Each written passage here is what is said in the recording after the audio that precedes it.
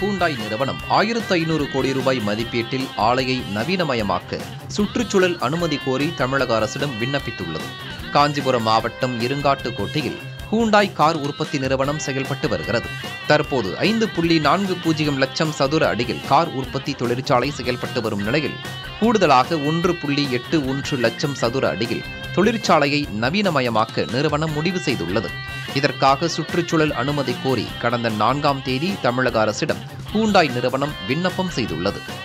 தமிழகத்தில் இருபத்தாறாயிரம் கோடி முதலீடு செய்ய முதலமைச்சர் மு க ஸ்டாலின் முன்னிலையில் புரிந்துணர்வு ஒப்பந்தம் ஏற்கனவே கையெழுத்தானது குறிப்பிடத்தக்கது.